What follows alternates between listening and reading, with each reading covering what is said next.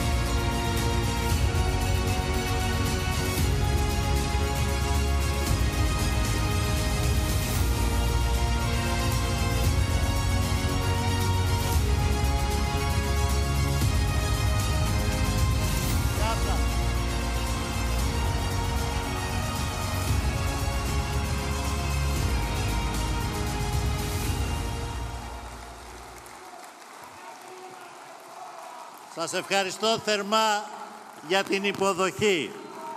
Φαίνεται είναι γραφτό από αυτό εδώ το γήπεδο, από αυτή εδώ την πόλη, από την Καλαμάτα να κάνουμε το πρώτο βήμα για τη μεγάλη νίκη. Το πρώτο βήμα για τις εκλογές της 21ης του Μάη που θα φέρουν την πολιτική αλλαγή και τη δικαιοσύνη. Αυτό είναι το μήνυμα που στέλνουμε σήμερα εδώ από την Καλαμάτα το μήνυμα της αποφασιστικότητας και το μήνυμα της ελπίδας. Το μήνυμα ότι η προοδευτική κυβέρνηση που έχει ανάγκη ο τόπος θα γίνει πράξη σε λίγες εβδομάδες από σήμερα.